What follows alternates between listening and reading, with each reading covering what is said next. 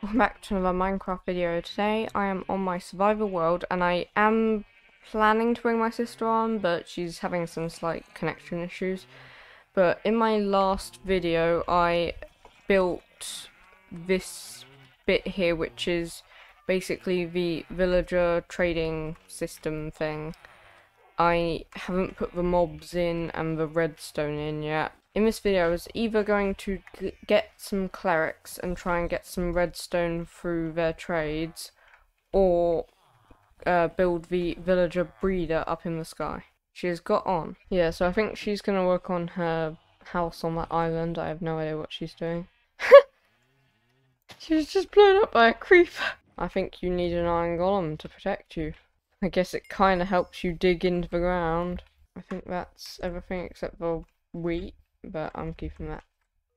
It's for payment for my service. How were you blown up by a creeper again? Am I gonna spend my whole episode doing this and not actually get round to doing any of my proper stuff? Oh, guy with flame bow. Okay, let me just jump in the water. There we go. You could light up the cave with some torches. I could do that. Oh, there's at least one mob down here. Oh, just a zombie. That's really easy to kill. That's like the hardest mob to kill in Minecraft because of their randomness. You've just hopped to a different island as soon as I've lit up the cave under that island. Yeah, I've lit up the cave. You won't get attacked now. Is this guy aggressive now? Oh, yes he is. Ha ha ha. Well, who's been dying to creepers? Okay, there we go. I'm gone dead.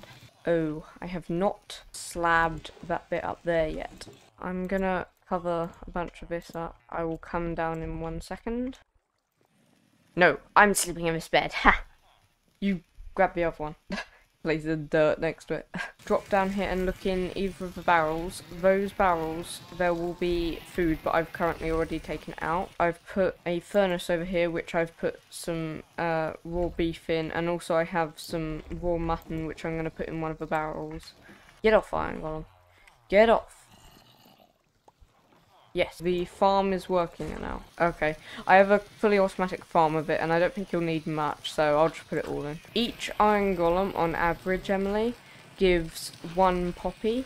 That means for every, like, minute or two, I'll get a poppy. I will now start by building up. There are some beds in the barrels, so you can take a bed. Okay, I'm building up. Well, it's cool to look at the iron farm from here.